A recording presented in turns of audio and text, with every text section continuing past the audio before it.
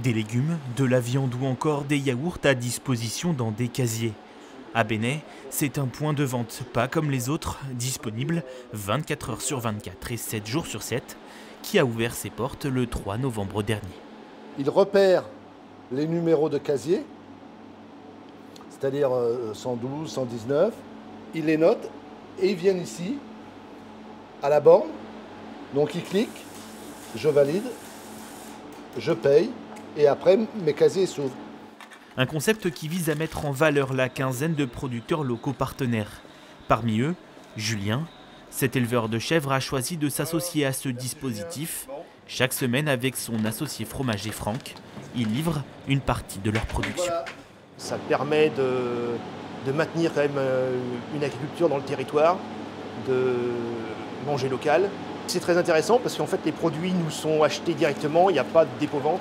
C'est-à-dire que tous les produits livrés nous sont payés. On ne récupère pas les. S'il y a des invendus, on ne les récupère pas.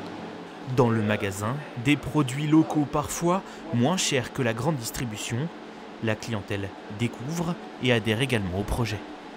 Alors moi ce qui me plaît c'est de retrouver dans un seul et même lieu euh, différents produits de producteurs locaux et d'être dans un circuit euh, court. Pour moi c'est très bien, il y a un côté très pratique. Et puis ce qu'il y a surtout, c'est que c'est des circuits courts, ça fait travailler les gens euh, du secteur et c'est quelque chose de primordial pour nous.